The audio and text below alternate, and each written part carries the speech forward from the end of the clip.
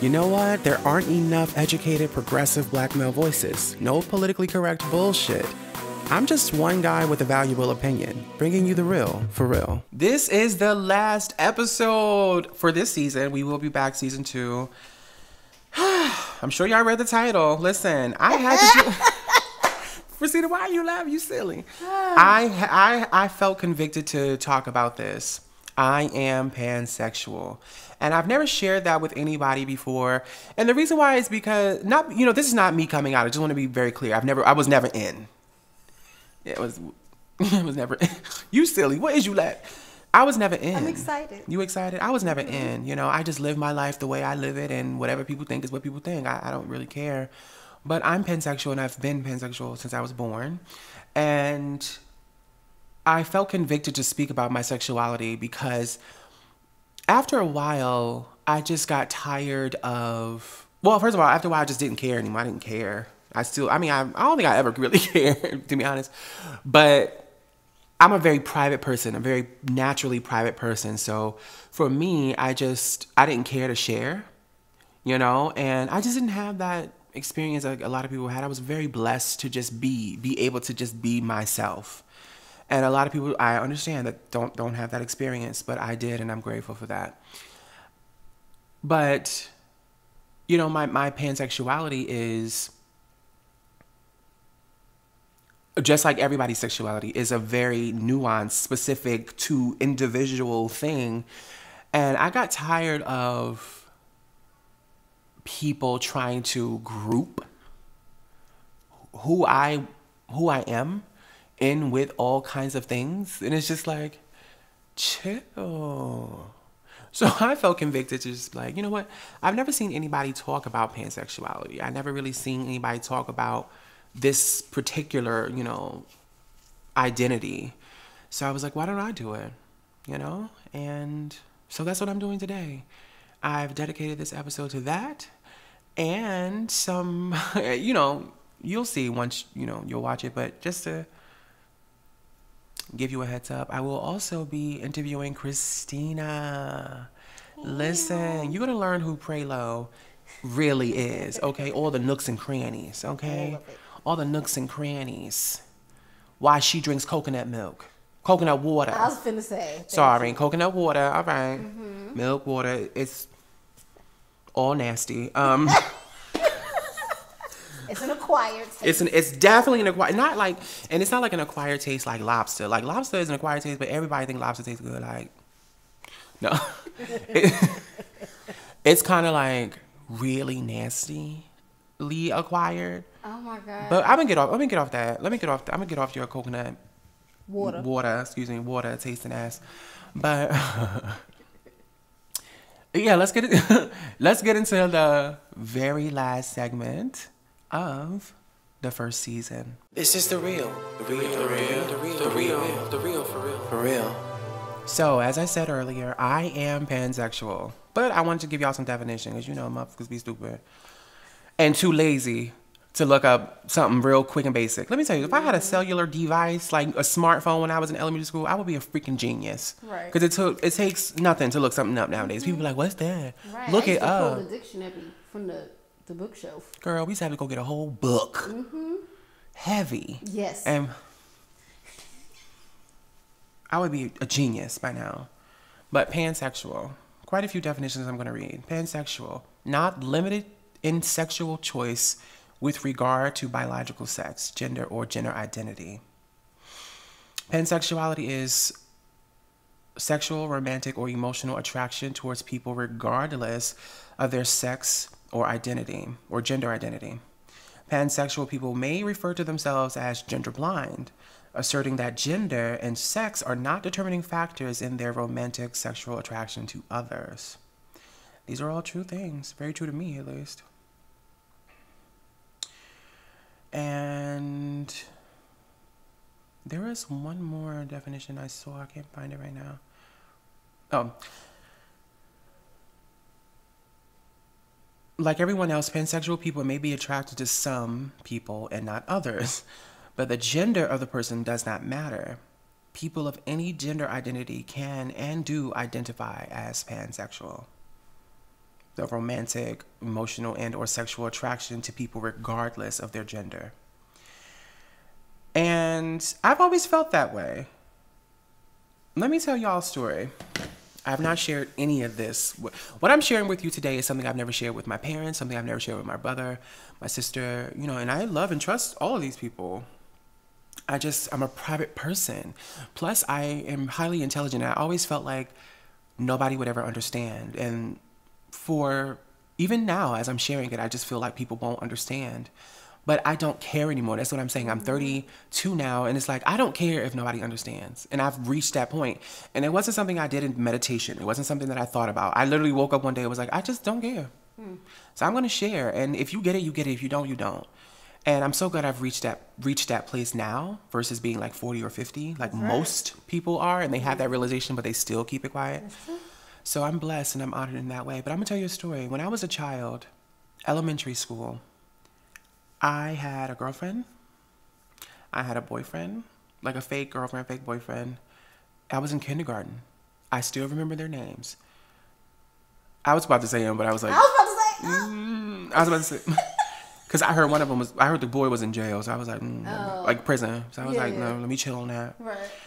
But I, I did, and for the longest time, and I wonder if you're listening, if you've had the same experience, please leave a comment and let me know from from kindergarten up until like second grade, I thought everybody liked everybody. I was like, isn't this how it's supposed to go? Mm-hmm. Like, I like boys, I like girls. I was like, I didn't, I didn't think of, I didn't think too much of it. I remember my teacher, God rest her soul, Miss Hankin, I believe was her name, caught me in the bathroom with, ooh, I was about to say that child's name. Caught me in the bathroom with the, this boy. And she was like, No, you're not supposed to do that with boys. And that stuck out to me because I, I had been doing the same thing with girls. Now, she didn't catch me, but I was like, I want, so I can't do it. So it, because he's a boy, this, like, it seemed like because he was a boy, that was like the reason. And, you know, I, I, I used to be explorative with girls too because I liked girls. I still do, you know? And as I got older, like second grade, third grade, I started to see the finger pointing, the conformity. And I want to be clear this did not come from my mother, this did not come from my father. Again, I was blessed. My parents were very, they're very intelligent people. So, and, you know, mm, they love me. So it's like, they love my me, my brother, my sister. Like, they love their family. So I would love to hear their experience, like their point of view. But this is my point of view.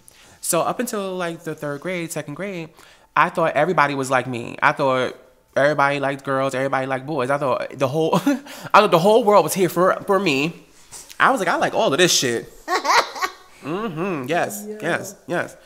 And when I realized it was like Christina, you wasn't like that? Uh, uh-uh. I remember my first crush in, in uh, kindergarten. Yeah.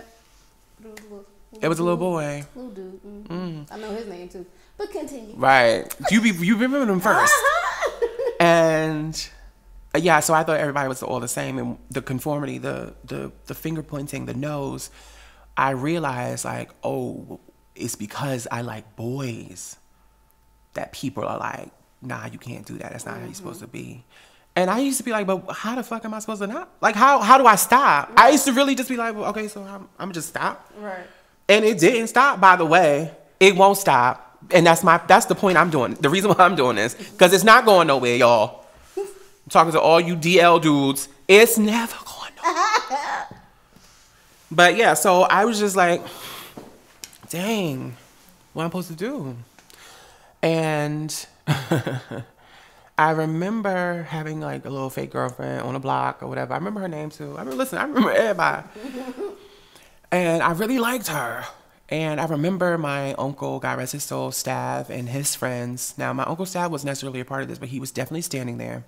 And there were like a bunch of older guys. They were like 18, probably 16.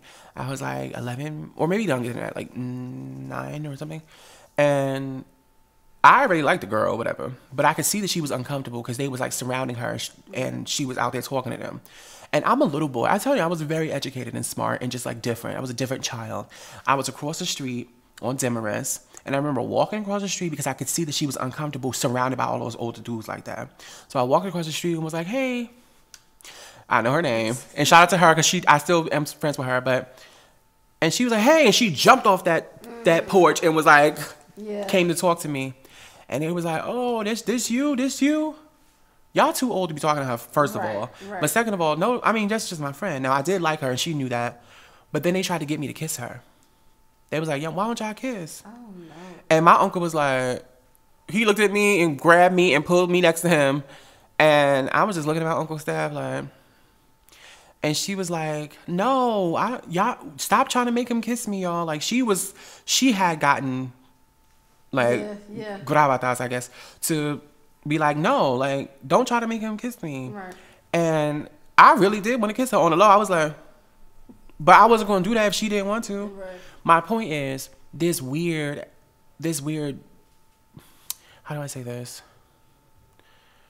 I guess juxtaposition or ju- or just or just uh, standard stereotypes. I don't even know what to call it. I'm I'm I'm drawing a blank right now. But this weird dynamic where it's like this is a girl, I'm a guy who a boy who likes her.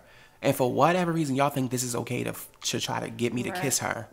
But if I was to reveal to you that I also like these boys, it would be a whole, it would be like a treacherous act that Mm-hmm. you just commit. But it's okay. But also, that's really inappropriate what they're doing to me Oh, with her. But it wasn't seen that way, and that's my point. That's Mm-hmm. why I'm bringing this story up. I've had these experiences, even though on, like I said, on the low, I was like, Okay. I might want to do that. and I remember she grabbed my arm, pulled me to the back, and she was or pulled me to like on the other side of the street. And my uncle came with her, and my uncle said to me, he was like, "You ain't have to, you ain't have to do nothing with her. I wasn't gonna let that happen. Trust me. I was just standing there." I could understand that he was trying to like save face, but also like, cause my uncle said, let's be clear, my uncle, he would die, he would have died for me. Mm. Let's be very clear, Uncle Stab would have definitely killed somebody. So I knew he wouldn't have had me, whatever. But she was the one who grabbed me and ran to the back or whatever, like ran me to the back or whatever. She was like, "You don't have to kiss me if you want to." And then she was like, "Do you want to?" I was like, "Yes." And then we kissed. But right, but you know, actually, I have something to tell you, Christina. I'm gonna tell you, and I'm gonna just bleep it. Okay.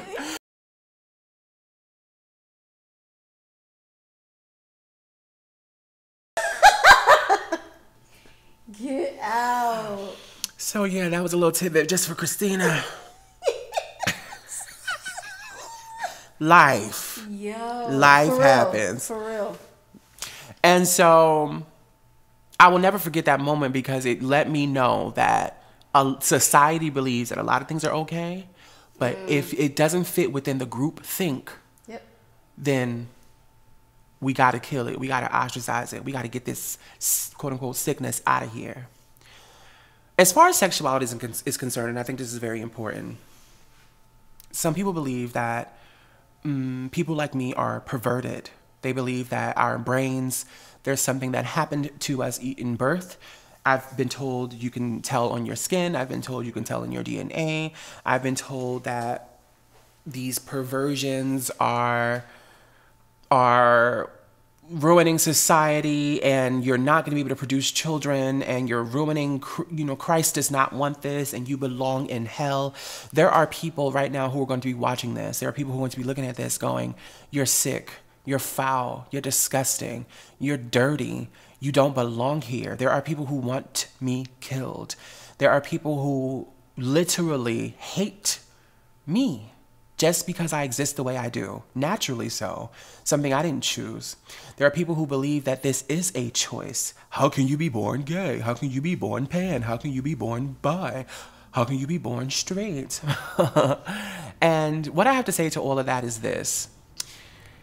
When I tried to kill myself when I was a kid, twice, three times in fact, but the two times that I did so because I could not change myself, I came to the realization that the reason why I was not successful in trying was because I wasn't meant to.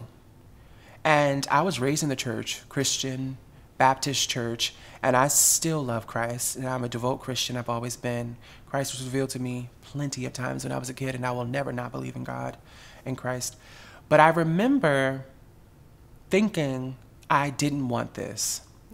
And the reason why was because I didn't get it. I just didn't get it. I was a little boy and I couldn't understand why people were calling me a fag. I couldn't understand why people were calling me a sissy. And you, if you think my hair is long now, I had even longer hair. And if you think my voice is soft now, my voice, I sounded like a complete girl when I was younger. People used to mistake me for a girl all the time. And this is naturally so. I didn't have hair anywhere. I didn't grow hair until I was like 22 on my face in college. And my brother and my father, everybody had like hair. They were like, they looked more manly than I did. And I was just naturally androgynistic my entire life. And I'll speak about that too later on. But I just find it interesting that who I was naturally was a problem for so hmm. many people. And I wasn't doing anything. I believe your subconscious mind and then your conscious mind picks up on a lot of things that help you become who you are, your mannerisms, the way you sound, the way you speak, the way you walk, the way you talk, etc. So a lot of my being is subconscious, something I'm not doing on purpose.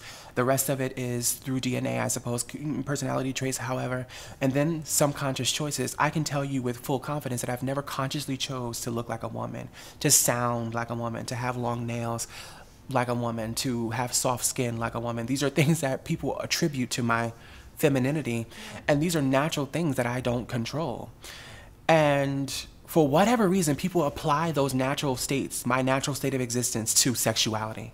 I've never done that to myself. And so when I was a kid, they would be like, oh, you're a fag. Oh, you gay. Oh, you must be gay. And I just, I didn't get that because I definitely wasn't. And I was like, why do they keep saying this? And I just didn't get it. So I remember trying to kill myself because I just, I got tired of hearing that you're, who you are naturally is wrong. Mm.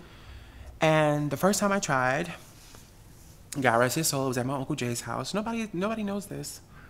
I took a, a bottle of pills. I was raised basically in the hospital. I was sick all the time, and I knew that taking pills and medication, stuff like that, you're not supposed to do that. And I didn't know what kind of pills they were. Mm-hmm. I know for a fact that it wasn't Tylenol because I know what that looks like. But they weren't Tylenol pills. I was downstairs in the basement. There were some pills upstairs on the microwave. I took those pills, ran downstairs to the basement, and I drank the entire bottle mm. and drank some water and just waited to die downstairs in the basement in Irvington at his house. And nothing happened. And I remember thinking, okay. Y'all, that same night, them pills came out. I, not to make this light of this situation, yeah. but I was really like in the toilet like, okay, God. Um, another time I tried to drown myself. That did not work. I think, I think, I don't even want to say her name, but I think my cousin noticed I don't think she. I don't. I don't know. That might be a trauma for her. That's why I don't even want to really bring it up. But I think she might have noticed and helped me, but I don't think she remembers that. I might call her and ask her if she remembers. And then the very last time, I tried to suffocate myself. And for my mother and father watching, y'all remember because the window in my room was cracked. And I never told you how I cracked it. I lied to you and said it was something else. But the reason, the, the way I cracked it was because I was suffocating myself. I tied something around my neck and I was on a bunk bed at the top and I tied it really, really, really tight and kept tying it. I'm just like squeezing it even tighter, even tighter, even tighter. And once I could get, once I got it as tight as possible, I then took my hands and put them around my neck, and my eyes went black. They were open, but they went black, and that's when I started to panic and I start flailing, flailing, flailing, flailing, and that's how I hit the window. And the window cracked. That window crack was in my window for like 20 years. My father just recently replaced those windows not too long ago. But now you know how I cracked that window. Dwight didn't even, my brother Dwight didn't even know. He heard me flailing and got up and helped me. And then my parents all came to the back of the room and they were like, what's happening? And I, we just kind of froze and I didn't, I didn't tell nobody what I was doing. And I remember distinctively waking up the very next day, and there's a picture on Facebook somewhere. Hopefully, I can find it and put it in the video. I remember specifically taking a picture of myself that day, the very next morning, and saying to myself, That's it. From here on out, I'm going to love myself because clearly God doesn't want me to go. It's not my time. And whatever I'm dealing with, whatever circumstance I am dealing with, whatever feelings that I have, I'm supposed to have them. So that's it for me. That's it. Mm. And I took a picture and I remember that picture. Every time I see it, I just, there's a pain in my spirit because I'm like, I remember. Mm. I say all that to say, imagine going through all of that and then somebody going, "You're a fag. You're you're perverted. You you chose this. This is," and you're looking at them like, "But I didn't." And whether you believe it or not, I don't care. I can't care. I am who I am. God made me this way because if I had a choice, I promise you I would choose something different. And the very even today, even now, because who the fuck would want to live like this? Every time I leave my house, I got to be worried about if somebody's going to call me a name or mistake me as a woman or act like it's my fault that I did something because you liked me. You saw me, and now it's my fault because right. you thought I was. Like, nigga, what? Like, I didn't mean to say the N word, excuse me, but it's like. So I have to leave my house on guard every single time. Imagine living like that. You think I would choose this? You think somebody would choose this? And I'm androgynistic. You know, I, I I'm masculine and feminine naturally. So imagine the feminine men out here who are just like yeah. comfortable, or the trans people who are more comfortable. They get in trouble, not in trouble because that sounds weird, but they they are attacked and harmed just for simply existing all the time, all the time. And I have to deal with that. And you think I chose it? You're stupid. You're foolish. As much as you thump that fucking Bible, you mm. don't actually know what it means. God is love. And if you think for a second that God doesn't love me, something's wrong with you, not me. Okay? I discovered that I was pansexual, or at least the word pansexual, because at that time, the only words that I knew were gay and bi and trans. I went, you know, Newark Public School System. People talk shit about it, but I learned a lot in Newark Public School System. We watched a lot of documentaries when I was in elementary school, elementary school, before I even got to high school, where we were introduced to trans people and gay people, and we spoke to a lot of, we had seminars and all these kinds of things like that. And the first time I heard it, I was like in seventh grade, and I believe her name was, she was a light skinned woman. She was my, I think, language teacher, Miss B. I remember Miss B, but I can't remember her full name. And she was talking about sexuality. And she was like, there's a lot of, somebody had said something really derogative. And she was like, excuse me, don't use that word. If you're going to mm-hmm. describe somebody as homosexual or whatever, whatever. And then she was like, there's like this and this and this. She started saying other sexualities. And she started to explain what they were. And she said pansexual. And they were like, what's that? And they were making jokes. Oh, people out here having sex with pants. I was like, of course they did. And that stuck in my head, and that's the reason why I never told anybody that I was pansexual because okay. people are that stupid that they really believe that you out here having sex with with pants and pots. Because you know people are attracted. Some people have attraction to like inanimate objects like mm-hmm. trees and shit like that. So people get stupid and go like, "Oh, you you like pans?" Like it's dumb. Right, right. So I never expressed myself in that way. I just used to let people think what they wanted to think. And up until I'm 32, like I, I don't care. You know, I've had all kinds of experiences.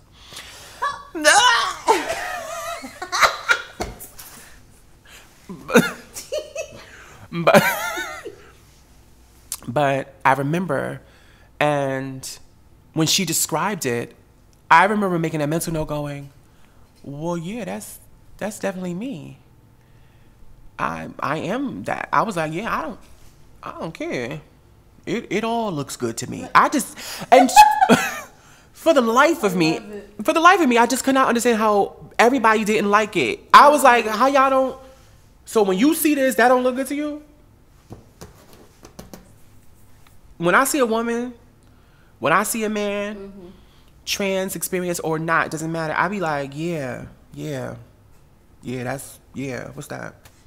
that's good. That's that's yeah. That looks. I mean, like I just never for so many years I just could not understand like why y'all don't like it too. Like yeah. this all looks good and and furthering than just like a physical attraction. It's like I would be with that. Mm-hmm. I would be feel comfortable mm-hmm. with Sanaa Lathan. I just would a type obviously because you know, or like you know, a red man. I would. I mean. I was waiting for it. Listen. very comfortable. Okay.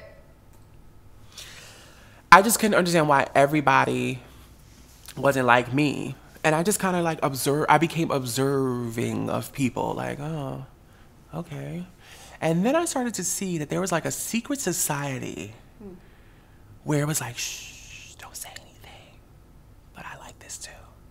And I didn't like that. So I stayed away from it for a very long time. And I'm skipping a lot of things because we don't got time for that on the podcast.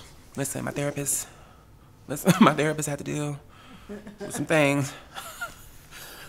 But I, I just remember th- seeing this secret society and going, rejecting it. Hmm. Because I never was in a closet. I never hid who I was. I just simply didn't share my privacy. And the way I classify privacy is like this when I'm in the shower and I take my big ass leg and I put it on the I put it on the ledge of the shower. Then I take my washcloth, white, Okay. pure cotton, and I take the Dove soap and I get it sudsed up. And then I reach down under my balls to scrub and clean my gooch, my balls, and my pretty penis. That is a. I know you're very uncomfortable listening to that. That's a. That's okay. It's a very. it. That's a private moment. Yeah. Is it a secret that I don't share with people that? No. No. Because that's privacy. Right. So I wasn't keeping secrets. I wasn't in the closet. I was just simply not sharing with you how I clean my balls. and that's how I looked at it. I never felt like I had to come out or whatever. Right. Because for what? Also, from elementary school, I mean, I had little experiences in elementary school. I was like kindergarten, whatever.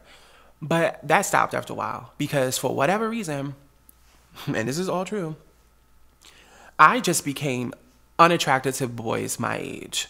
I liked girls my age, but boys my age, I just there was nothing. Because of that, it was easy for me to keep my privacy because I was never interested in none of y'all motherfuckers anyway. You can ask everybody in elementary school and high school. None of them dudes will ever say he tried to hit on me, he tried to kiss me, he tried none of that because I was not interested in none of y'all. Now the teachers,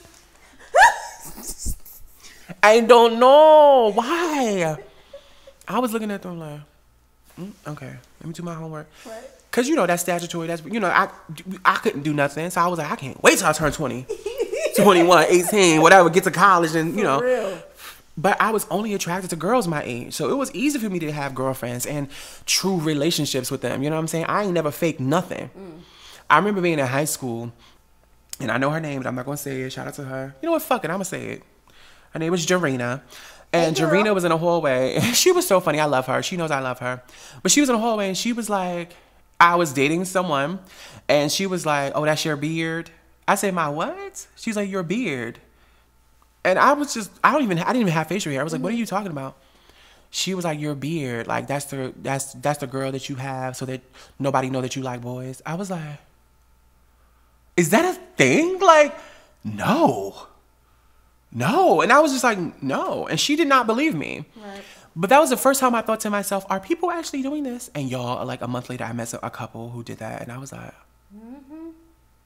This is a thing. It really is. I didn't even know that. I was like, no, I'm real happy with her. I like her. I love her. In fact, I was like in love with her. I was like, I no, this, I nope, nope. and if you were to talk to her, and if she was to share like moments from my experiences, she would not. She would not be like, oh, they were fake. Like it was real. It was real. Yeah. I enjoyed it. I I mean I, I really did was in love was in love with her for years. We were together and when we broke up, that's when I was like, dun, dun, dun, dun. I can finally see about these men out here. Cause now I'm older and I felt like, well, I can date older men now Right. because I'm older. Right. And like I said, I wasn't I just wasn't attracted to guys my age. I just simply wasn't. And I and I and I did. And I remember thinking, wow. Yeah, yeah, yeah. And that's interesting because I was in college and I was deeply like head over heels with this one girl. Oh my gosh. And everybody around me knew it. Everybody, I mean, she knew. I told her eventually. She was like, yeah, no. she was not interested. Okay. Like at first, because then after that, she started doing a little shit like calling me baby, calling me on the phone. We went on dates to the movies and just hanging out a lot more. And I remember this one time I was in her dorm room. I'm really sharing a lot. Lord, my mother said, don't share too much. Ah! mom. And I remember we was in her dorm room. I don't know why she did this. But I was sitting on her couch. She had called me to her dorm room. Mind you, her dorm room was on the other side of campus. I walked two miles and was happy. Love. And went to her dorm room and I was sitting on the couch and she came over and she was like, You're not gonna hug me? And she was she was Latin. You're not gonna hug me? Puerto Rican to be specific, I believe. And she was like, You're not gonna hug me? And she walked over to me and kinda like got on top of me. I was sitting on she like I was I was I I was like have self control. Right. But she would do little shit like that. And it never, like I said, it never went anywhere. And there was this other girl that I liked at the school too. And then, like I said, I started, well, by then I had, had there were quite a few guys I hadn't seen. and I was like, you know, I felt like I could do mm-hmm. this. And I remember saying to myself, it was like 2009 or 2010. I remember saying to myself in my in my dorm room, I was like, and then this is where the nuance is going to come. So please pay attention and make sure that camera, because it might cut off. Yeah, you good. I said to myself, I think I'm going to only date men for the rest of my life. Mm. Now, some of you might go, well, doesn't that make you gay? Because you're ignorant. No. I mean, choo- because I have the choice, doesn't mean that it takes away from anything else. Because I can choose, it doesn't mean that I all of a sudden have just lost. Like, if I choose to stop drinking milk, because my gut, Lord Jesus, lactose intolerant, it doesn't mean I don't like milk. Because I, let me tell you, so I love milk. I know. You whole, full fat, udder the cow. Fresh, fresh or pasteurized. Uh-huh. I love milk. And I, I, you know, just because I stop consuming it doesn't mean I don't like it. So let's be smart here. But I remember making that choice. And the reason why was because I liked the experience better. Not the sex, not the gender, the experience better. I don't know why. It was just, it was just, it was simple. Mm. I think women deserve to have so much, and I respect women so much. So when when I'm when I'm thinking about being with a woman, which I you know I, again I, I respect it. I, I I really think women deserve the world. Really, it's it's a it's a stronger, more more involved experience. And for some reason, when I'm like dating a man, I don't be thinking about none of that. Sorry, the camera cut off, but yeah. So I think women deserve the world. But when I'm dating a man, the, the experience is more simple. And I don't know, I just like that ease. I, I'm the first person to tell you, I don't want children. I've never wanted children. And that has nothing to do with my sexuality, because people will go there. I've never wanted children. I like a simple, easier life. I grew up in a very difficult neighborhood in Newark, New Jersey. So my experience is just just just different experience. I have different wants.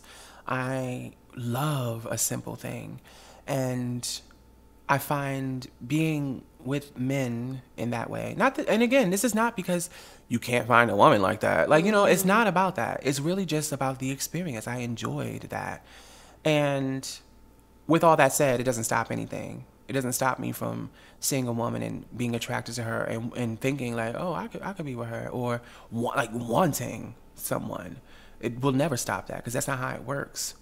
And I just thought it was important for me to verbalize that and have some like have a place where somebody can go to and see that thing.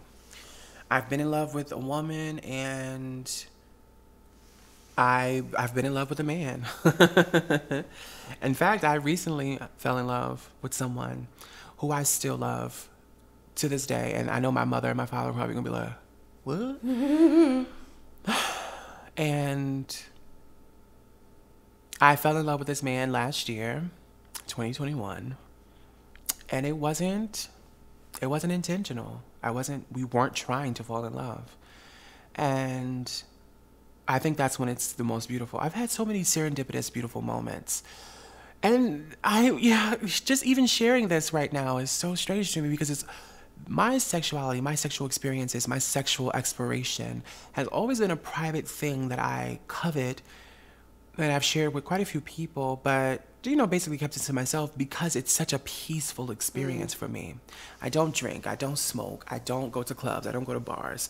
And this one thing I just hold, you know, this it's mine. It's I don't want to share with anyone else.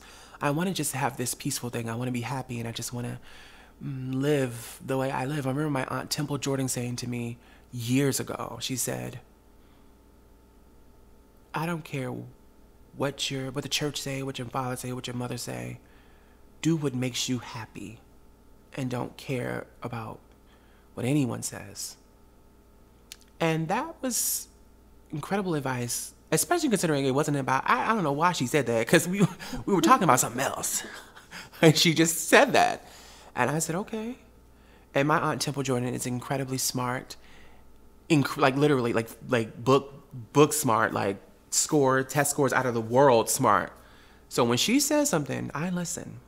And I remember hearing that and thinking to myself, I don't care what people think.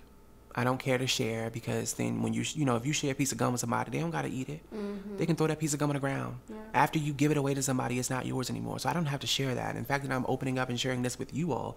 Again, it's not me coming out. It's just me sharing things that you ain't got no business knowing. The people who know are the ones who need to know. and I just, I just wanted my peace but I think it's important to share that I have been loved and I have been in love with both women and men. And the guy that I was in love with last year, again, we weren't trying to be in love. For a long time, I didn't want to be in a relationship with a guy or a girl because I felt like I didn't have enough to give anybody. And I didn't. When I turned 30, I finally got my first apartment, which is where we are now, my studio. And this was a dream come true for me. But I didn't have nothing prior to that. I was like, how the hell am I gonna be somebody something if I ain't got nothing? Right. Can't take a girl out, can't buy nobody, nothing. Like I was like, ain't nobody finna do that. Like who what girl is even gonna wanna be with me? They gonna be like, You ain't got no car. You ain't got no job. That's it. Uh you you stay with your mother? Right, that's the one. That's the one. Like what the like I felt like yucky. I felt like don't nobody wouldn't nobody want me, not even no man, and that wasn't true. But but I just wasn't I wasn't willing to be with anybody because I was like, yeah, right, nah. Right. But when I got my own place, I was like, yeah. it's lonely as hell in here. Right. Felt like I need some some some some people in here. and so anyway, I, I met this guy, and it was it was easy it was easy. First conversation we had, four hours on the phone. Mm. And every time we got on the phone, it was that long. Every time. We met each other under some very interesting circumstances, and then when, like I don't know, it's just like when we when we started to click and connect, it just it just happened. Mm-hmm. It was like we looked up and was like, why do we know this much about each other? Why do we? have this experience. I, I I don't know. It was very interesting. The guys that I've dated in the past, just it just wasn't the same. It wasn't the same. And so I believe that he was the first guy that I ever fell in love with. I've said to guys before that I love them, but it just wasn't the same. It's not the same type of love. This type of love that I, which I still currently have. And by the way, we're not together, which I'll get to that in a second. But I just wanted to share with you this this this beautiful moment. This this man that I met. He is older than me, and which I love. And what I enjoyed about him the most was that he I'm tall as hell and big as hell. You tall? As hell. Oh, okay. Mm-hmm. That's neat. And when he would hug me, oh, being a man, and I'm an alpha male. I know a lot of y'all might roll your eyes at that, but I'm an alpha male. I take care of my family. I take care of myself. I take care of my responsibilities. I don't lie. I don't cheat. I'm strong. I'm I'm a fighter. I'm I'm a protector. All that. I'm an alpha male. So I'm usually, like I said, I'm usually the one who's doing the thing, the protecting, the hugging, the. But in this particular case, I remember he hugged me, and I was like, God, like it took my breath away. I was like, Cause usually dudes are smaller than me. Like they're for whatever reason, skinny dudes be liking me. I don't know. And I don't I don't I don't necessarily discriminate. I don't really have a type. But these skinny guys be like short little dudes be like wanting me. And I be like, oh and they're so little. Mm-hmm. But this was a man, like he's a tall, strong man, and he hugged me, and I remember going, like I remember being like, and just like my breath was taken away. And I remember telling him like I was like, I think it's because I never really, ha- nobody could ever do that to me. Yeah. And when I had that, I thought to myself, like, yeah, I can have that again, mm-hmm. and again, and I and I and did and did. and I remember telling him I felt protected, like in a way that my father always made me feel like I was protected anywhere I went. Mm. I still feel that way, but and then myself because you know I'm really about that life. But but when he would when he hugged me, I felt protected. I and being the man that I am, it's like I, I never had that before. I never had that feeling like like oh wow we were really killed somebody out here. like you know Right, right.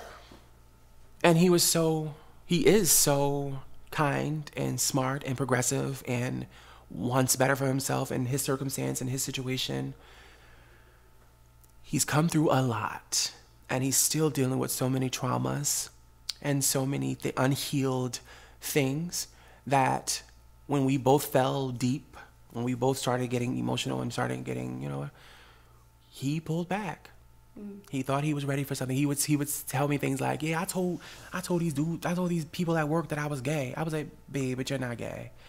He was like, "But you know I don't care, cause he he a little he he can get a little street. So you know when you come from the streets or whatever like that, if you pan or bi or whatever, they just say they just all everybody just Right, say gay. mm-hmm. So he was. I told him I don't care. I don't care. I wish somebody would say something. You know, like he he was ready to just like share who he was, just like me, just like Right. ready to share. Like he didn't care. And we were both on the same page. I thought that was very refreshing. Thought that was very interesting. And he he pulled away from me. He pulled away in a way that really hurt me bad. I had just lost my best friend. Two weeks later, I lost my uncle. And during that two weeks that I lost my uncle, he go the guy ghosted me, and that hurt. I was somewhere in a, I was in a depression. I, had, I was in a depression and I didn't identify it until November hmm. when I asked him to come over to my house on Thanksgiving, and he said he was going to come, and then he chose someone else over me. My mother probably is going to call me because she was. I told her that a guy was coming to see me or that kind of thing, and when he didn't show up, she was so mad for me. And I was like, "Mom, it's okay." I played it off, mm. but what she did know was that I was in that bed, like Right, right, right. I didn't cry, but I was in that bed, really like my neck. And to make a long story short, it we never worked out. We never worked out. He knows I love him. He loves me. And he told me, he just was like, I thought I was ready and I'm not. And then he revealed some more things to me and I said, okay. I can't I can't save you. I can't there's nothing I mean I, there's nothing I can do. Mm-hmm. You got to come to this on your own. And that's why I started off this video the way I did. This man is pansexual too. And if you met him, if you were to see him, you would never know. Now, when you see me, people automatically assume things, which is why I never share my sexuality. Mm. Because if you come at me with arrogance, as if you know something, oh, I already know. What the fuck do you know? What you know? Oh, okay. That's when I'm uninterested. And I've had so many people throughout my life go, Are you gay? Oh, you must be gay, right? Oh, I thought you was gay. And it's like, it's never bi pan or anything. It's mm-hmm. always like, oh, you dress that way because you're gay. Oh, you look that way because you're gay. Nothing I do is because of my sexuality.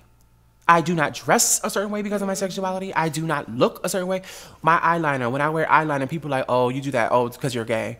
It has nothing to do with that. I wore black nails, eyeliner, black, black shadow, and I wore all black clothes all throughout high school because I love the goth aesthetic. And still to this day, I'm dripped in black because I love black. I love the goth aesthetic still to this day. And I wear eyeliner because it's an ode to Michael Jackson. That was something I kept to myself. Now I'm sharing it with you. Michael Jackson Dangerous cover album had this beautiful eyeline. I said, I love that. It was cool to me. That's why I did it. I didn't put it on because I was trying to attract men. I, first of all, let's be clear. All I need to do is get the fuck up in the morning Hello? and Hello? Take off that bonnet. And that's it. and that's it. I don't need to do nothing to attract men Right. or women, but men specifically, because I got I feel like women are just a little bit more meticulous. But I don't have to do nothing to attract a man. So I, I and I don't and don't. Anything that I may do for like a specific person, that's like extra. Extra, right, it's right. Mm-hmm. extra. I don't have to do that. So when people are like trying to piece things together, oh, your hair is that way because you like you because you're gay. It's that's why I, that's when I become like Mm. uninterested in sharing because if you're already believing the shit is in your fucking head before I even open my mouth to tell you what the, who I am, then there's no reason for me to share anything with you. There's no reason because no matter what I say, even now in this video, you're still Right, going you to take. believe what you gonna believe. You're gonna believe what you're gonna believe. So that's why I never. That's why I never shared who I was because people are going to believe what they want to believe. They're going to take my story, take my circumstances, and still like Try you know right try to exactly. oh this happened because of this happened. Oh this it's like that okay sweetie. There's nothing i can do or say but again like i said i'm at a point right now i'm so blessed that i don't care. Do i want to be with that man? Uh, not necessarily. The reason why is because i'm emotionally intelligent. I went five years plus in therapy and i have incredible emotional intelligence. So much so to know that just because you love somebody doesn't mean you're supposed to be with them mm-hmm. and I knew that when I fell in love with him. I fell in love with him because his absence reminded me of a piece that was missing, and I knew that he was that that piece for me. Plus, he was beautiful and sexy and smart and progressive, and and the way we loved on each other was so exceptional that I didn't want it to go. And when it left, for him and me, by the way, he shared with me, it was hard. Hmm. It was hard. And he didn't he felt like he didn't want to hurt me. He felt like he felt like if he would have stayed then eventually he would have did something that would have hurt me or whatever like that. And he, i was like but you don't understand that this is hurting me too so Yeah. i'm the one keep losing out. And we've i mean we've gone back and forth. He he recently he recently donated to me. And i was grateful because i blocked him on everything so i don't know how the hell you saw that. But i was grateful. And the love is still there and the communication even though i've tried to just there's some way to communicate. I mean i'm sure he's going to be listening to this. I say all that to say it's possible it's my point. Hmm. It's possible. And the kind of men that i like again alpha men responsible men manly men being with someone like me, it's possible. It's possible. It's possible. And it was beautiful too. And there's so many nuances. There's so many things that I could say. There's so many things that I could share. Lord, there's so many things. Lord, Christina, the vault, Christina, the, vault, mm-hmm. the vault. There's so many things I could that I could share, but this is just one story of one person, one pansexual man that made a choice. And I'm happy. I'm more than happy. I'm comfortable. Hmm. And I know for a fact that there are a few people who are going to be upset that I didn't share with them this part, and including two of my best friends who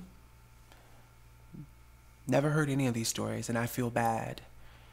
But there was a reason why I never shared this part of my life with them. And I just want to say to them right now, if you're watching and listening, I'm sorry. I should have shared with you a long time ago because I shared with quite a few other people, and I know that that fact alone can be something very hurtful. That wasn't my intention. It just so happened to be a thing, and and I'm sorry. I never wanted our relationship to change. I didn't want you to treat me like the quote unquote gay friend. Mm-hmm. I've never been treated like that, and I felt like if I would have shared this with my close best friends, mm-hmm. that the relationship would have been different. And that's not fair to you all, to the both of you, because it's just the two of you. And I'm sorry. And before this comes out, I'm going to call them and I'm going to share with them. And hopefully, you know, we're still friends after this. But the thing that I didn't want to happen is this. Oh, we already knew. It's not like you telling us something new. Mm. What did you know? What did you know? Then when you hit him with that, it's like, because this ain't about me liking men. Ain't nobody, like, come on now. Like, that that ain't it. I don't give a damn that you know. I mean, I don't care. I never cared about that. Yeah. But my experiences, stories that I've told other people that I didn't tell you, that's gonna make you feel away because it's like, why you ain't share this with me? Right. It's not about oh we already know. What the fuck do you know? I hate when I tell you I hate that shit with a passion because again, people will look at you and go, oh that's why you Yeah. doing this. Oh Yeah. you like this because it is. I'm naturally who I am. Right. Nothing I'm doing is put on for attraction. It's just this is who I am. This is why a lot of men like me because they look at me and they're like, you just this is just who you is. Like this, mm-hmm. and they like that. Yeah. There are a lot of men who you would never know sure. likes men who want to date me. I get hit on all the time. All the time. Yep. All the time. And I'll be somewhere like, I'm really out here. Like, you dusties. Like, nah. And I just be like, yo, I'm not even doing anything. And that's the point. I'm just being myself. I just am naturally who I am. So when everybody be like, oh, we already know, what the fuck do you know? What you know? Sit, sit down and tell me about my life. So, hopefully you have an understanding. hopefully you have an understanding of what pansexuality is. I've had all kinds of experiences. I've had all kinds of I've explored myself, especially in the last two years, definitely in the last two years, where I've tried things, where I've tested things out because I wanted to see, I wanted to just experience things. I wanted to, to really understand who I was in a different way. And now that I've settled on this thing, mm. I'm so happy that I know what I want. I know what will make me happy. I know the things that, you know, just how I like to operate and who I like to operate around and with. And even though I'm not with that guy that I love, I'm happy that I had that experience. I'm happy for all of my experiences. And again, like I said, I could write a whole book about it. But but I'm grateful. And I want to say thank you to him because I know you're watching or listening. I want to say thank you to Christina. I want to say thank you to Kenesha and Renatha and to Shalia and to Tamika and to Natalia and to Tiara and all kinds of people. Let me just, I, you know, I just brought up, just thought it made me think of, real quick. This one girl said to me, this is another reason why I just don't be sharing. The, I I was sharing some stuff with this one girl, and she had the nerve to say, "Oh, but you know, there's only two sexualities, right? There's only like." Mm. Actually, I think she said there's only one sexuality. There's only heterosexual. The other things are fake. It's science. She was getting this information from this older white guy that she was screwing. And it's so funny because she was like 27 or something like that. And he was like much older. Now, again, I like older men, so I wasn't judging. But the point is, you're taking this information from some Anglo Saxon and mm. looking at me and going, my experience is invalid because of this quote unquote science that you got from him Right. this is the reason why I don't talk to people. Because it's like, unless you've lived my life, all this fucking science can be thrown out the window. Yep. Because you don't know my experience. You've not lived it. You've not been inside of my brain and my soul and my body and lived through life. Mm. And again, still to this day, I have struggles with understanding how people don't find it all attractive. I don't. I just, when I see a sexy man, I be like, damn. When I see a sexy woman, I be like, damn. Trans or not, I just be like, wow, this is, it all looks, it all looks real delicious. And no, I'm not into poly. I'm not into. I've never had a threesome. Like I'm not as much of a tourist freak. I am. Mm. Okay. No, I've not done that, and I'm not interested. I don't even like one person. It's hard for me to. I cannot imagine myself being in a relationship with two or three other mother. Yes, I can't, and I've been offered. I've been offered. I could say some things. I've been, I've had offers. I could have had all of this paid for. Mm. Let me get. on- Let me. My mother said, "Don't share too much." I- let, let me get. Let me get. I I hope you have an understanding, and I made this the last episode for a reason. I just wanted people to understand me a little bit more, and again, I just shared a bit, a tidbit of my life, a tidbit of my stories. Christina, this is the first time you're hearing quite You a few. I am so Thank proud of you. you. Like I know it wasn't like a coming out thing, Yeah. but I know it was a struggle just to be like, do I really want to do this or not? Yeah. I am so proud. Thank you. For real, for real. Thank you, Christina. Really, truly, because you know, Christina really been.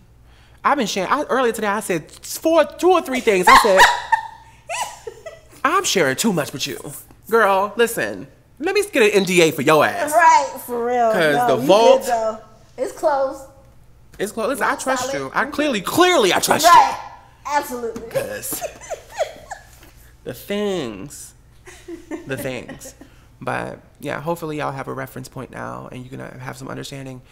Please leave comments if you have questions, more questions. I'll be open to answering them. And thank you, thank you for listening. Listen, we're gonna come back season two next year.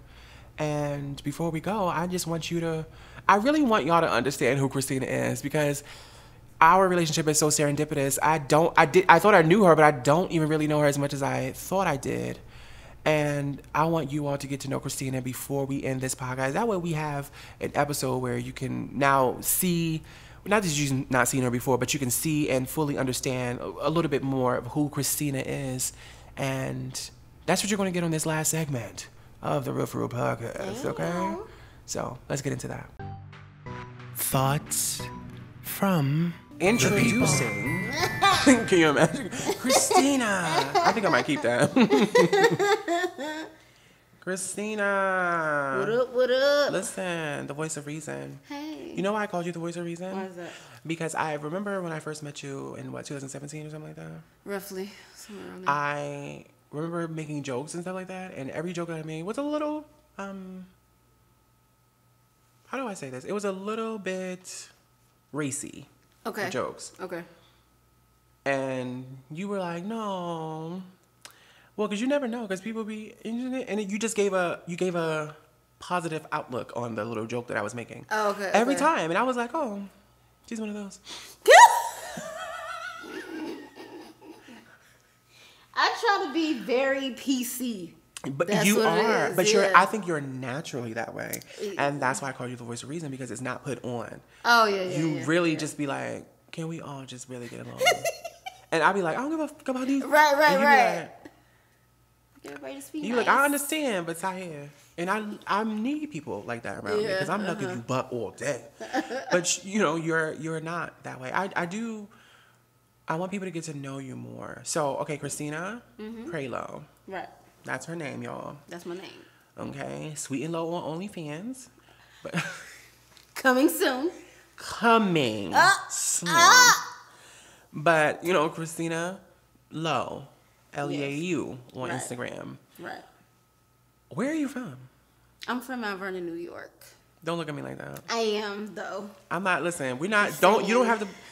We're. I don't know you right now, so Oh, okay. yeah. Oh, hey. Hi. I'm from Mount Vernon, New York. Wow, Originally. Mount uh-huh. Vernon. Is it in Denzel Washington from there? Yeah. Denzel Washington. Who else? Heavy D used to spend a lot Oh, of time. Heavy D is you know, everything. DMX and all of them. DM. Listen. you feel me? Isn't that it? Well, I don't know you.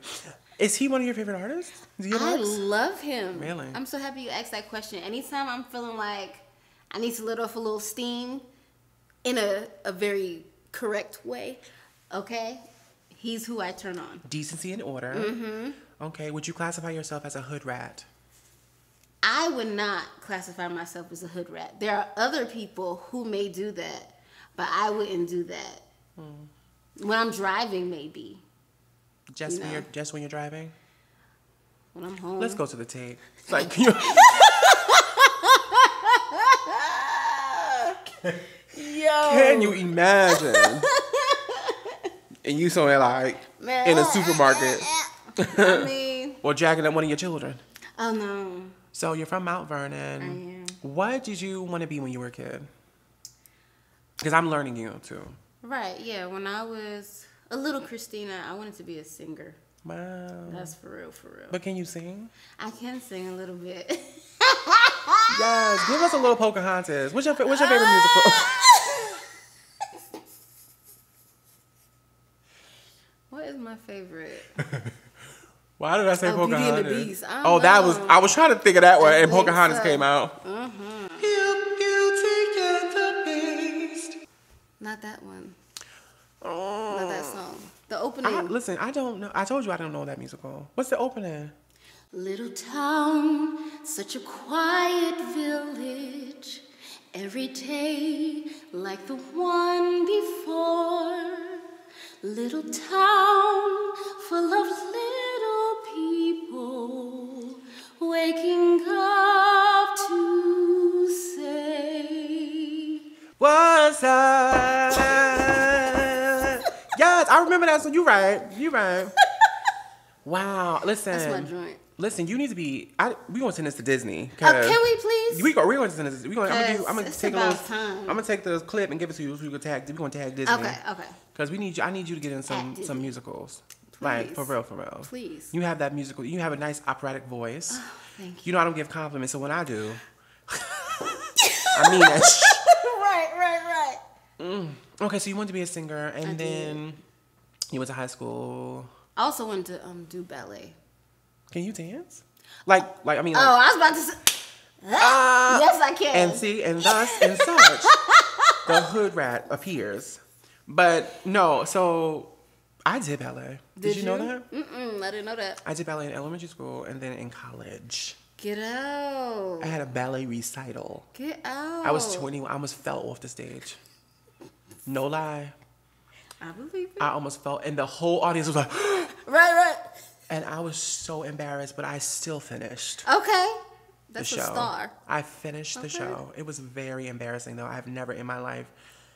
I, I anyway, but we're talking about you. Um, so you wanted to be a ballerina, Yeah. and you did not accomplish those goals. Mm. I mean, it's still possible. It's possible for a plain Mount Vernon girl to become a ballerina. It's possible. Mhm.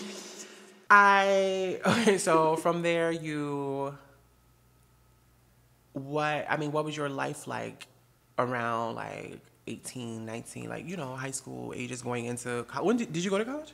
I did go to college. Okay, I what went to several colleges. Oh, okay, I listen. started at Fairfield University in Connecticut. Okay, Fairfield. Uh huh. Then I went to Lehman College in the Bronx.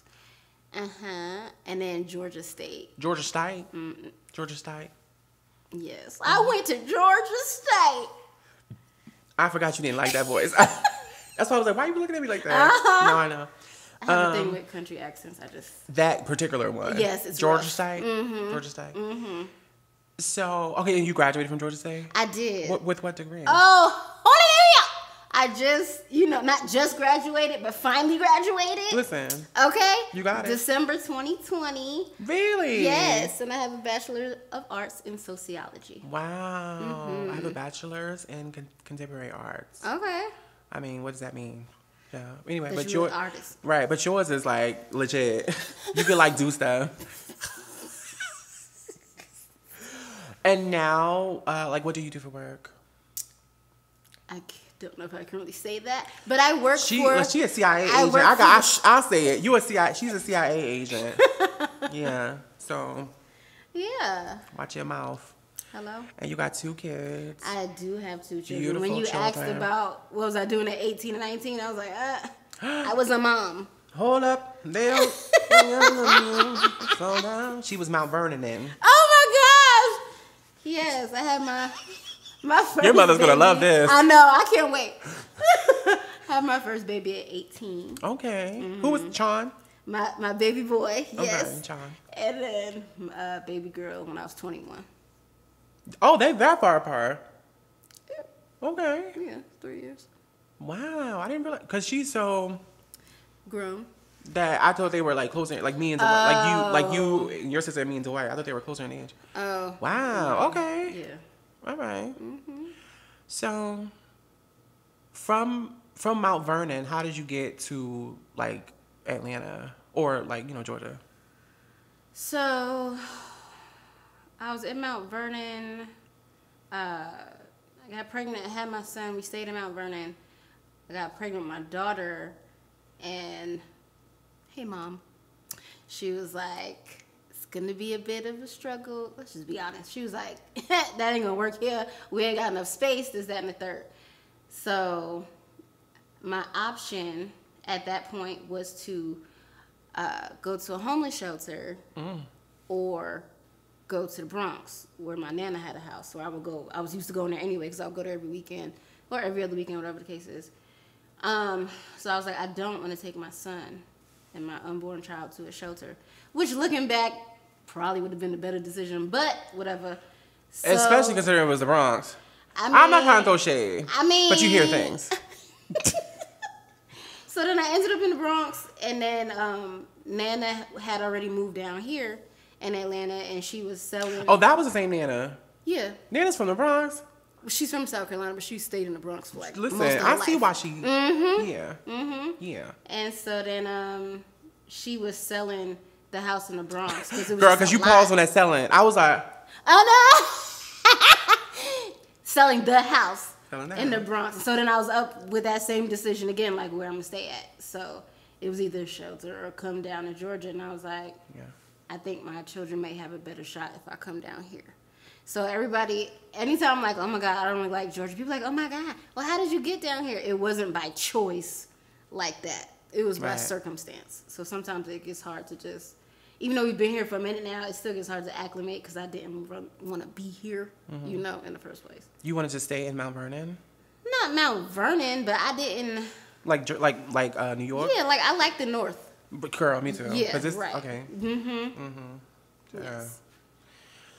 What is your odd obsession with uh, coconut milk, water? water. Okay. Coconut water is very hydrating and Okay. and very refreshing. So it's not even about the taste. It's When like it makes say- me feel Okay, but when people Oh. say it's very hydrating, how can you get more hydrating than water? Okay. Because Is it like sciencey? it is. Okay. Okay. But real quick, But okay, so if I if I hold my nose, would it taste better? No. Does that even work? Because that's never worked for me ever. Mm, your taste buds might be in your throat. I don't know what I just said. You might have to take that out. we are both tired. I don't know why.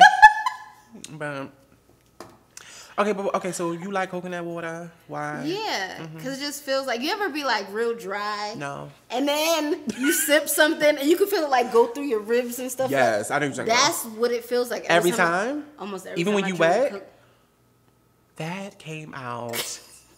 Not that was not. I was not going there because you said when you feel dry. I just meant like even, Oh, yeah. I was like, That got different. This that got different. That's not where I was going with that. So yeah, it makes me feel like that, and then it helps me when I want to sing and whatnot. It just, it's just good. Now I have heard singers say I've heard that for a very long time. Oh, like, really? oh, drink some coconut water. Yeah, And I remember, like I said, I remember drinking it many years ago, going. yeah. No, the first time I had it, I was like, And then just earlier today, I said, Christina, what did you say? Mm, girl. Everybody don't need to know everything. Okay. What did I say? What? Um, I'm trying to remember the exact joke because it was brilliant, but um, I might have to put it in my stand-up special because that was. Oh, you know, no, yeah, we're not sharing that. right, right. Ah, I just remember. I didn't think you would. yeah, no, um, that's very adult. Your, your daughter might watch Hello? this. Mhm. Your children might watch this one day. But okay, um, I guess what I want to wrap up with is what was your first impression of me? Well, how did you find me? O'Day, our mutual friend. I don't know how I somehow. That's what I don't know Right. because I know you was doing the um, casting Yes. for National Melanin Day, the first one, and so I don't know. I guess O'Day told me about you, so then I entered the casting, Oh, and I you, thought you were. selected me. Yes, I thought you were following me on the Black Media, and that's how you found that. But O'Day told you. No, I probably was following you because of him. Maybe Okay. he said something, whatever. And then, yeah, that part is a little blurry to me still because it really don't make sense to me. But I found you that way. And then he was like, you selected me. And then after that, you was like, oh, well, I didn't know that you were so close to that and third. I'll use you for other things. And I was like, okay. But in my head, I was like, he ain't to call me. You Or, you know, like hit me up, ask me for something. And you I did. listen, and I I was understand. like, oh, okay. So this might work. And then I just been. Cause you were, I, like I said, you were so nice Oh, and like, but like. Mm-hmm. naturally nice. You weren't like putting it on, and I respected that. Plus, I thought you were really gorgeous. I was like that Oh. haircut. I was like, ah, sickening. It was sickening. Let's Your look at the skin- picture. No, I'm just Okay. kidding. Let's pull up the footage. I'm gonna put it up there because I, I still do have it. That your skin color, everything. I was like, yes, who is this? You know what I'm saying? Whew, okay, yeah. So, yeah. So that's how you. Found, so, what was your first impression of me? I just thought you were really cool. And I thought you were talented. And I was like, all right, he got me up here holding his gold reflector, whatever. I, you know what? I don't remember that, but I will absolutely remember? give somebody a golden reflector to hold. I don't care who you are. I'd be like, oh, excuse me, what's your name? Could you hold it for me? You know, because we had talks before, and you was like, "Oh, can can you do it for me?" And I'll mention your name in the credits or something like that. Remember? Yes! So we was talking for I don't know. But you know what? I have I do that a lot. So Okay. that's why it's not. I don't remember Yeah, you like, mm-hmm. particularly, but because I, do that a lot. I'd be like, oh, okay. uh, Could you come and help? and that wasn't even I didn't even care about that part. Like, oh, mentioning my name, whatever. I was just like, okay. I was so grateful because I had an ass- I had an assistant, and that just did not work out. And I remember the first time I called you, where I felt like, well, let me invite her over to see if she would be open to more with me. Mm-hmm. And I said, "Hi, Christina. I need you to help me clean my place. I ain't got no money, but I'm gonna cook for you." and when she said, "Okay, cool," I was like, "Why would this girl come over here to help a grown man clean his house?" And we was up in here cleaning. Uh huh. Girl, I almost cried. I was so thankful because I really needed help. I remember that one. And we was up. We cleaned. My studio was. I had a lot less stuff at the uh-huh. time, but uh-huh. it was. It I, it needed to be clean, and she helped me. And I just was like, oh my gosh, when you can find somebody like that who is willing to just. And she said to me, I want to be here because I like. I like spending time with you. It's fun, mm-hmm. and it's like mm-hmm. a break away from, you know, my my my ordinary life, and it's fun. And I was just like, that's so nice. Cause I, I, I mean, But we have fun. But it's like that every single time. Amen. Even if it's not, even if we just not doing nothing, just talking about. I think we click just- because as much as as much as you think I'm fun or funny, and I am, I I think you are so funny and like you get it. Like that's the thing, you get it. Okay. I'm intelligent. I, I speak Uh-huh. fast. I say a lot of intelligent jokes. I think you're highly intelligent. Oh, I've thank always thought that because I say some stuff and you be catching you. Ca- you- you've never dropped the ball Okay. and you be catching it, and I'd be like, let's see. Even my mother noticed this. She was like, Christina was on it. I was like, you- Really? I said, you saw that, right? Like, I didn't even have to explain. But I feel like that's the, the same way about you though, because I'll say something, I'm like, it didn't catch him, and you like, like repeat. I'm like, oh, got he it. You- it's rare. Yeah, it's it rare. is, It's it rare. And I was just, I mean, like I said, I was just so grateful because it's like, you, you just, you, you seldom come across people like you. You, I mean, Mm. Absolutely. I don't pay her to do this podcast. I forced her to be the producer. She was like, producer, yeah. She, you know, I had to teach. I was like, would you press record? You was like, Right you, okay, how you press this out here? How you hold this camera? Right. So, you know, a lot of people were like, where's your, pro-" they think you're really like, they're like, oh, you're a producer. I got you. I was like, and I just let them believe it. Cause what the hell? Shit. but honestly, she's like just willing to learn and help me, like, and help me. And I'm willing to do so much. Had I, had, had some things happened, let's just say you would, you would, you would, you, you, you I would have had to hit your cash app a couple, Uh, few times. Uh, uh, uh, and which I have in the past. Yes, we've gotten. I've gotten. has. I've listened. Listen. Okay, he definitely. One thing I like to do is pay people when I have it. When I have it. You sure do though. Okay, Yeah. listen. If I'm getting it, we getting this. Right. Take Not even expecting app. that joint, and I see. I'm like, Right, and because I love surprising people, I'll be like, here, boom, and extra. Yeah. And I'm not even. I'm not trying to be funny either. I'm really not. But it's not like she be doing the grunt of the work. You know what I'm saying? right, she be right. helping as much as she can. It's not like she's doing anything ex- hard or difficult or like yeah. long. Like you know, it's not stress, and I still pay like. You know what I'm saying? Because I'm like, Generous. just just the fact that you're here, you don't understand how much this is making me feel comfortable. Because I be in circumstances where people I do not know. Okay. And when I have somebody that's like, child, your jail. Remember we Yeah, yeah, yeah, yeah. me and Deja, you. it's like it makes me it makes me feel better. So Yeah. I'm just internally grateful, and I hope people listen. Disney. I hope they reach out to Christina. Thank Halo. you. Listen, I'm her manager. I take twenty five percent. Hello. And 20, look, 20, I was about 38 percent going up. um, but yes, I'm just. I hope. I hope people understand you more and understand why I did this. And I, I wanted her to be the voice of reason. I always like those shows where like Martin or you know like where you where you hear something or you just don't really know who it is but somebody who has a sound thing or somebody who gets the joke or you know I just always enjoy that so even if I was on television or if I did this podcast in a different way she would be here you know especially if I was on TV that would be get checked Hello. That's what we really waiting on. so- listen and you would be my person you would be my Well, person. yes absolutely. Because you're funny you're you know likable you're talented you know all those things you're you're made for this. And this is my way of introducing people to you hopefully through my platform. That way you can grow on on, on your platform and it just all works out. So listen we listen. About to get this money. Hello. listen. That's coming. you need to head on over up north. Mid mid north. Uh-huh. and when you get back we're gonna get back to work next year next year We with a little bit back, more pep in y'all. your step Hello. Hopefully a little, a little little little thinner pep. That's oh a little little, little that- schminner that- a little schminner A little bit. a little schminner Bring it in a little. okay Mhm. so girl see this is why this is why And so yeah, this this gonna be the last part of the podcast. Episode ten, like I said, is the last episode for this season. And I just I thought this would be such a great way to end it, even though um, somebody very close to me didn't want me to do it. I felt like ending the podcast with a song because I'm a singer, and a lot of you may not know that, but the ones who do, they love hearing me sing. I sing all the time on the Black Media Instagram Live, and I just want to play you something really quickly, something very encouraging that one of my best friends, her name is Shalia Harris. I just wanted to make sure that you knew her name.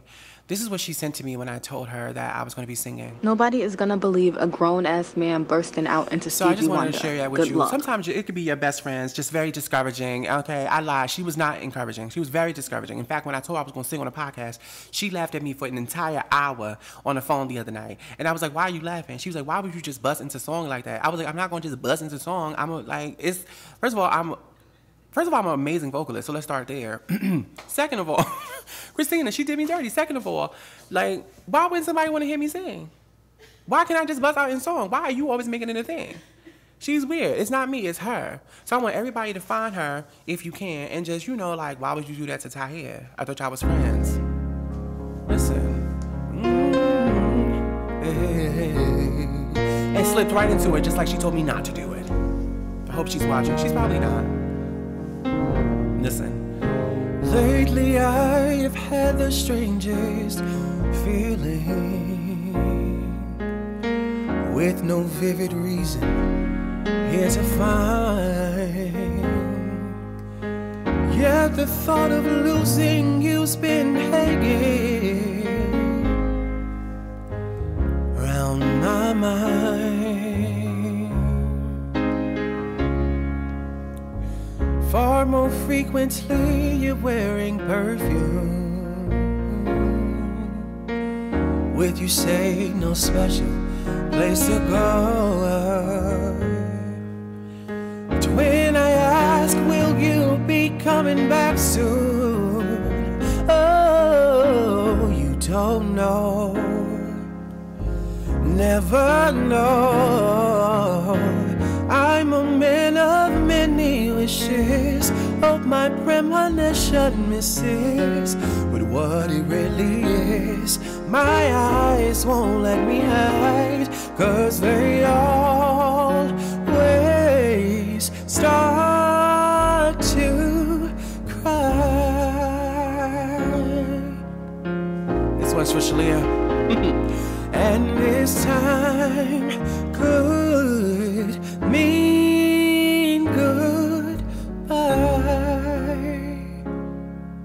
But not for a long time, right, Christina? Not for long. We'll be back next season. We sure will. I'll make sure to see you next year, everyone. My prayer is that I, through comedy, entertainment, and personal experiences, will help each and every listener seek understanding for one another. I will not always get it right. I will change my mind, and I may even speak out of turn. But I do this with love, and I'm asking for grace to heal through conversations in a safe space, to tackle community issues that the truth will reveal with no circumlocution, just the real. For real. And we're out. Listen. let's let's pause for a 2nd mm-hmm. Make sure this bitch is still on.